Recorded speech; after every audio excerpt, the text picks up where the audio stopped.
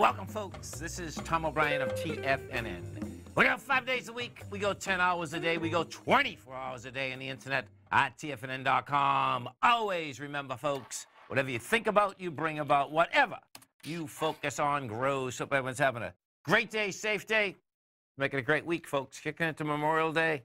And I'll tell you something, the heat spell has come down to Florida. It's going to be insane. It's going to be like 96. Pretty insane. To master love, you have to practice love. The art of relationship is a whole mastery. And the only way to practice, the only way to reach mastery is with practice. Master relationship is therefore about taking action, not about attaining knowledge. Market wise, let's take a look at it out here. We had the Dow Industrials finish up 197. NASDAQ up 83, S&P's up 22. That's uh, a 1% gain in the NASDAQ, 8 tenths of 1% in the Dow Industrials as well as the S&P. Gold contract. Gold contract down $3, trading at 1274.30 an ounce. What gold did, folks, gold went down, tested its lowest swing point at that 1267. We got to 1269. Did have a um, big contraction in volume, so that's a real good positive. Real question is going to be, can we get a sign of strength now out of the gold market? I want to see that baby get over the 1279 area. We're at 1274.30 right now.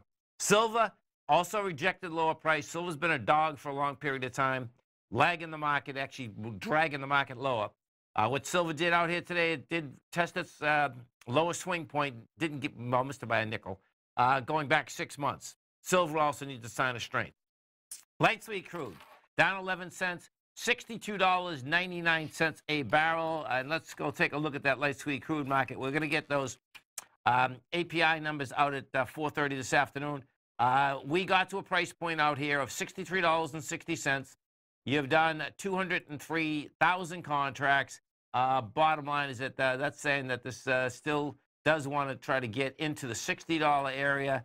I suspect we're going to actually run into uh, the $58 area. That's how that, that baby uh, seems to be setting up.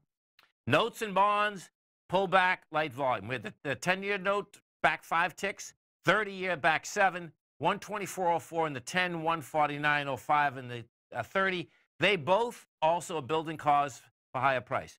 They back down, tremendously lighter volume, going against volume. I suspect you're going to build some cause here for the next leg higher.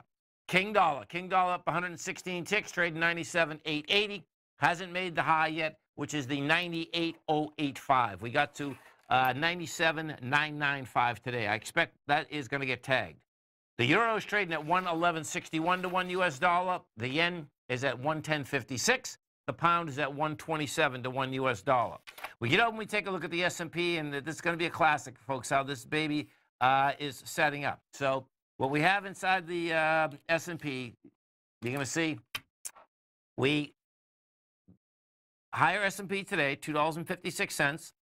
You're at 286. I expect this baby is going to get up and into this 289.21. That was the high that was generated out here last Thursday. Bottom line, we'll see whether they can take it out. When I say classic, what I mean is this specifically. My take is that this is the B to C of an ABC structure on the way down. We come off the highs with volume. You do the bounce with light volume. Yesterday, you pull back with light volume, so it's going to be messy, which the B to C is always a messy deal. You, you pull up today, tremendously lighter volume. In fact, in the NYSE, let me see, I don't think we did 800 million. So this is really cool how this is setting up. Seven, yeah, 768, uh, 63 million we did. So you can see, you get the bounce going. In fact, if I put up the Dow here, you're going to see how this is shaking out. You put up the Dow, what you're going to see is that, you know, we're off the highs here of the uh, 26,680. You bounced. We bounced at light volume. More likely tomorrow, the high is uh, that high of uh, 25,957. That can get taken out. You know, the, the, Dow can get up somewhere into this uh, 26,180. You know, that's easy with light volume. Uh, S&Ps are a different ballgame, though. Uh, NDX 100, that is what I suspect is going to drag us lower. So what you had with the NDX 100 is that you had the SMHs do a confirmed ABC structure on the way down, blew away its B point, had volume on the blow away. Today, you go up $2.31. No volume. Well, when I say no volume, you get 9.8 million going against 17 million. So you're talking about serious business here. The note and bond market, they still continue to want higher price. lower yield. They're right now building cause uh, for that baby. That's how that baby is set up right now. If we go take a look at, uh, let's see, J, one of our Tigers, JWN, is letting me know that what we have here is, so Nordstrom, the low for the year is $36, the high 67. It closed at $37.85, and that is trading at 34. Now, this is going to be a disaster for them on a technical basis, and this is why.